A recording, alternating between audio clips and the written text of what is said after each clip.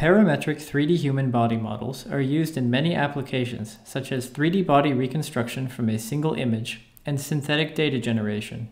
However, existing models still represent human bodies in minimal clothing. The lack of clothing geometry leaves a gap between the body models and common images of people. In this work, we seek to augment the popular 3D SMPL body model with clothing. To that end, we introduce CAPE, a parametric and generative model for clothing represented as displacements from the SMPL body model. Together with SMPL, CAPE can generate humans in clothing and generalizes to different body shapes and poses.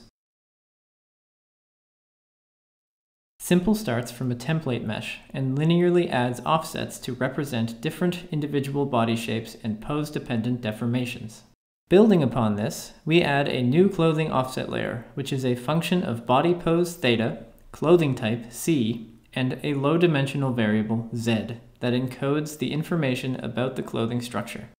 The clothed body is fully compatible with SMPL and can be reposed and animated using the same skinning function as the SMPL model. We represent clothing as an offset layer from the 3D body. Formally, this layer is a graph that inherits the SMPL topology, and the feature at each node is the offset vector from its corresponding vertex on the underlying body mesh. We parameterize this clothing layer using a novel generative graph convolutional neural network, that is, a variational autoencoder for 3D meshes. The network encodes the clothing offsets into a latent variable that we can later randomly sample.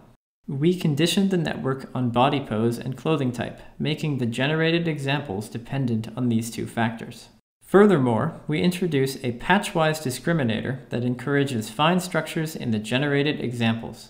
At test time, given a body pose, garment type, and random sample from the learned latent space, our model dresses up SMPL with a clothing offset layer.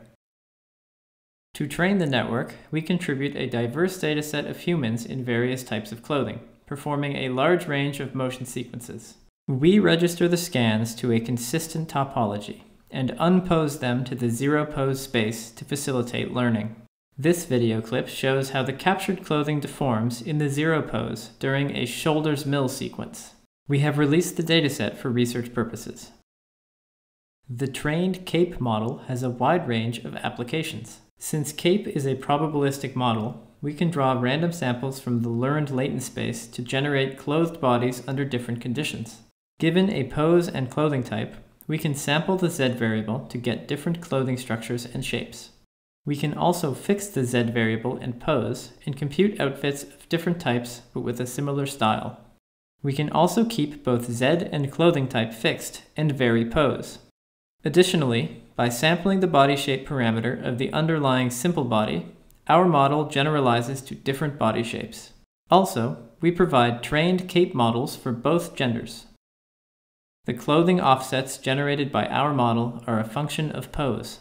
In comparison, we show the traditional rig and skinning method that animates the body with fixed clothing offsets. The clothing deformations generated by our model are temporally coherent. As the clothing shape is pose dependent, it is more visually plausible. CAPE can augment image fitting methods and upgrade the reconstruction from undressed bodies to clothed bodies. After reconstruction, we can use our model to redress the body by sampling new garments and then bring it into animation. In summary, CAPE is a parametric and generative model for 3D clothed humans that is compatible with SMPL and has a wide range of applications.